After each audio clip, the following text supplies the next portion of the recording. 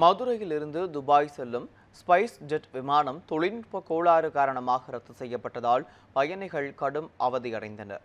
துபாயிலிருந்து மதுரை விமான நிலையத்திற்கு பன்னிரண்டு மணிக்கு வர வேண்டிய ஸ்பைஸ் ஜெட் விமானம் மூன்று இருபது மணிக்குத்தான் வந்தடைந்தது. மதுரையிலிருந்து துபாய் செல்ல வேண்டிய நூற்று அறுபத்து ஒன்பது பயணிகளும் ஐந்து முப்பது மணிக்கு ஸ்பைஸ் ஜெட் விமானத்துக்குள் அமர வைக்கப்பட்டனர். ஆனால் தொழில்நுட்ப கோளாறு காரணமாக இரவு எட்டு முப்பது மணிக்கு புறப்படும் என தெரிவிக்கப்பட்டது. தொடர்ந்து விமானத்தை சரி செய்வதற்காக சென்னையிலிருந்து பொறியாளர்கள் வரவழைக்கப்பட்டனர்.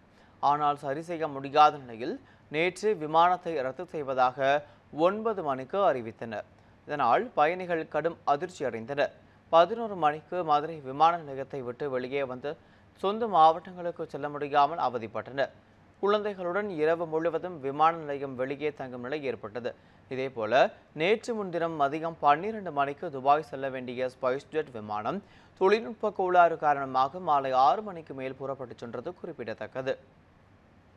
இந்த மேனேஜ்மெண்ட்டில் வந்துட்டு கேட்டோன்னா மேனேஜ்மெண்ட்டில் யாருமே இது வரைக்கும் வந்து எந்த ஒரு ரெஸ்பான்ஸும் பண்ணவே இல்லை. ஏர்போர்ட் அத்தாரிட்டி யார் வந்து என்ன ஏதுன்னு கேட்கவே இல்லை.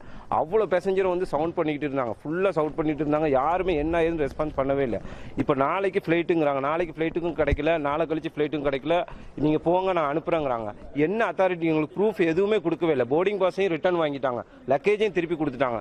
கரெக்டாக ஒரு உண்மையை சொல்லிட்டு போகலாம் சார் இதுக்கு. சார் நான் ஒரு ஏழு மணிக்கு கிடைக்கலாம். ஒரு நாலு நாலு மணிக்கு தான் சார். இல்லை கேன்சல் ஆயிடுச்சு சார். நாளைக்கு டிக்கெட் போட்டாங்கன்னா அடுத்தவங்க தூரம் இருந்து வரவங்களா என்னதான் சார் பண்ணுவாங்க அவங்க?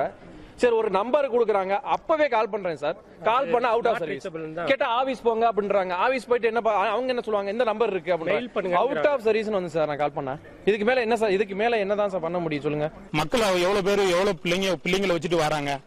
அவங்க சாப்பாட்டுக்கு என்ன பண்ணுவாங்க? இத்தனோண்டு பிள்ளைங்களை வச்சுட்டு நாங்கனாச்சும் டிலேன்னு தெரிஞ்சு வந்திருக்கோம். டிலேன்னு தெரியாதவங்க என்ன செஞ்சிருப்பாங்க? காலையில டுவெல் டென்னுக்கு ஃபிளைட்னு சொல்லிட்டு எல்லாரும் வந்திருப்பாங்க. அதே மாதிரி ஏகப்பட்ட பேர் உள்ள வந்தவங்களும் இருக்காங்க. அப்ப அவங்களாம் என்னது? இப்ப லாஸ்ட்ல ஃபிளைட் டிலேன்னு சொல்லிட்டு அவங்க போயிட்டாங்க. திரும்ப ரீபுக்கிங் பண்ணோம்னா நாளைக்கு பண்ணோம்னா ரீபுக்கிங் இல்ல ஃபில்லு அப்படிங்கிறாங்க. அப்ப இது யாரோட மிஸ்டேக் எந்த ஒரு ரெஸ்பான்ஸும் கிளியராவே இல்ல. ஒரு ஆளுக்கு பேக் கிழிஞ்சு வருது கேட்கும் போது மெயில் அனுப்புங்கிறாங்க என்ன மெயில் அனுப்புன? ஹேண்ட் லக்கேஜ் இவ்வளவுக்கும் அவங்க போட்டிருக்காங்க எந்த ஒரு ரெஸ்பான்ஸுமே இல்லை.